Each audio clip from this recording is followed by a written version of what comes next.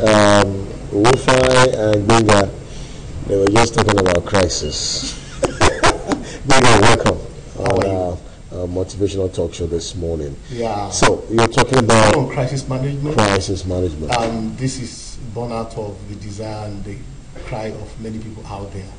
Another point that I want to share with us today um, is that your uncommon dream or your uncommon vision, your uncommon business, your uncommon career, your common academic will require an uncommon mentor.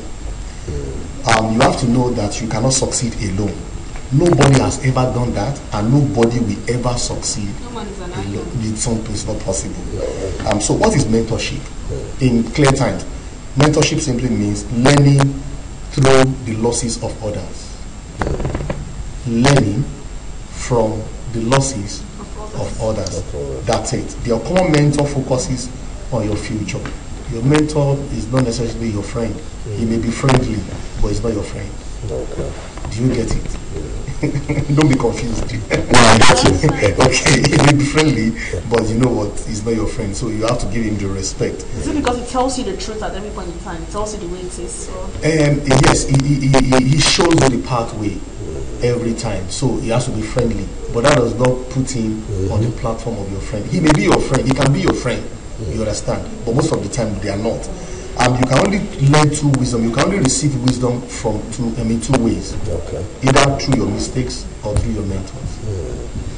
Do you get it? If you're, if you're mis- misdirected. Yeah, so if you if you fall into the trap of your mistake by yourself, you will learn wisdom. If that is if you are if you are careful. Okay. But um, at the same time, if you don't want to learn from your mistake or through your mistakes, wisdom demands that you learn from your mentors. Now, nine fact things about uncommon mentor. Number one, your uncommon mentor is your coach and not your cheerleader. Your mentor may not tell you what you are doing right, but will tell you what you are doing wrong. Don't expect him to be clapping for you every time. Your mentor will not compliment you, he will correct you. Your mentor will not justify your failure, he will expose the reason for your failure.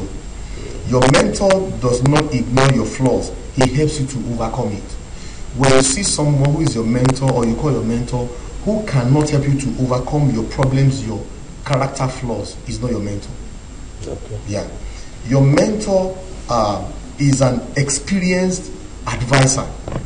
He sees something you do not see. Your mentor will know something you do not know. Your mentor will see possible pitfalls and potential traps that you may not see and quickly alert you. Your mentor takes the responsibility to pursue and develop a strong relationship with you and your future, not necessarily your present.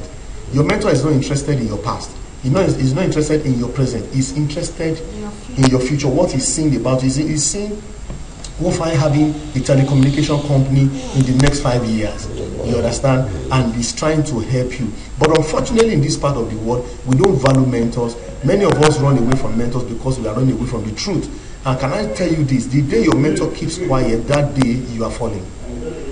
When you see your mentor keeping quiet about your life, know that you see Yoruba says ní gbọ́ fèrè ọlọ́dẹ interpretation the dog that will be that will, that will get lost in the bush will not hear the whistle of the hunter so your mentor is like your hunter guiding you in, on your on your pathway now your choice of mentors reveals so much about you when I know who is mentoring you I can tell you your priorities do you understand? I can tell you your part. I can tell you where you belong. You know, that one says, show me your friend.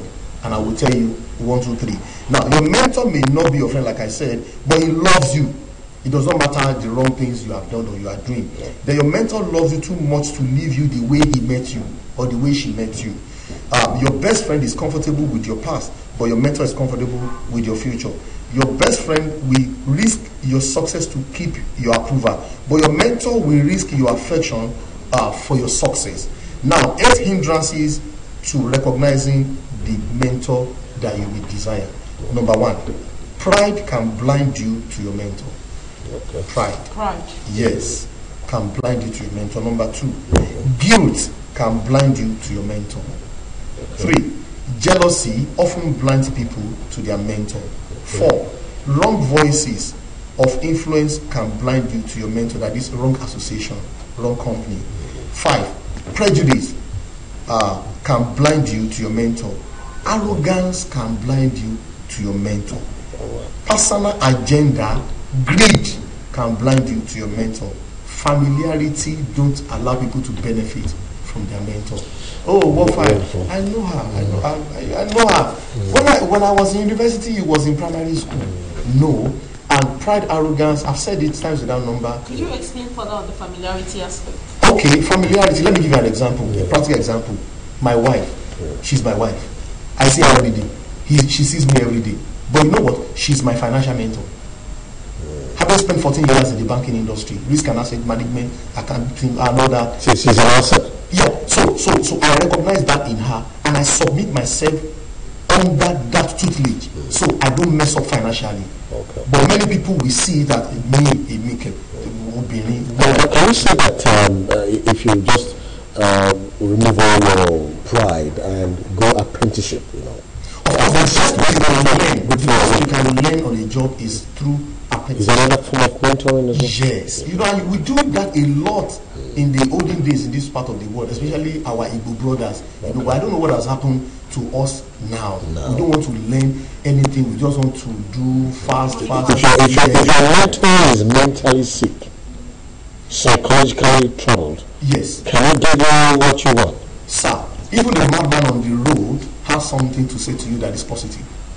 There is something in him that let me tell you, sir. What I do today in the area of training, coaching, mentoring people, it was my three-year junior in school who actually showed me, who actually opened my eyes to that fact that I have that strength and that potential. Oh. Yeah. So when we are when we're in the private, I can do, I can you know, I can do everything. But when we're in the public, I respect him, even though I'm older than him by four years. He was able to add value.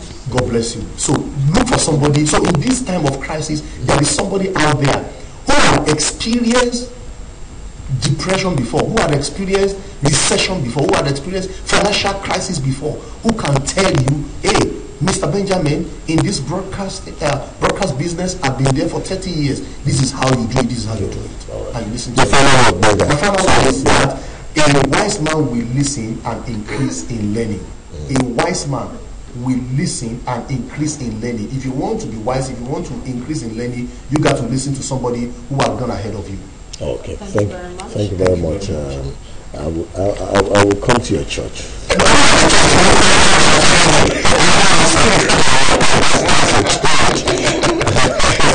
Thank you very much. Thank you very much for watching the rest of AM Chat. My name is Wofai Samuel. See you again on Wednesday. Okay, my name is Benjamin Peters. It's been a wonderful day. Uh, of course, um, taking you out with what Benga just said. What's that final word again? You're what? A wise man A wise man. We listen, not just hearing, We listen and increase in learning. Okay, a wise man will listen and increase in learning. Taking that from Benga this morning. And with that, I show you, uh, it's going to be rosy, no matter the recession.